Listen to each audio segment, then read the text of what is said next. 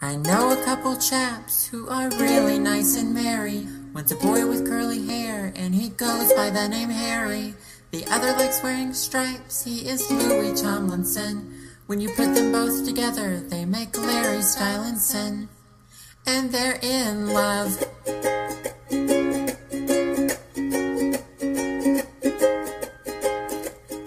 Together, all your fans just start to smile. Let me point you one direction, and this right straight down the aisle.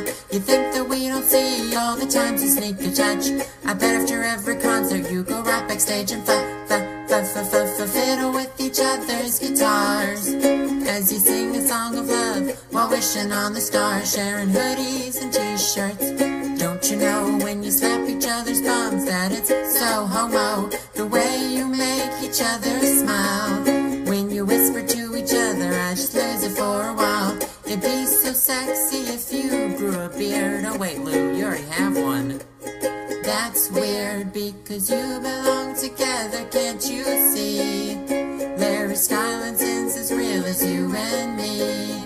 When you catch each other's eyes when you sing, I can see it in your smile. You've got that one thing, like Harry said, it's gotta be Lou.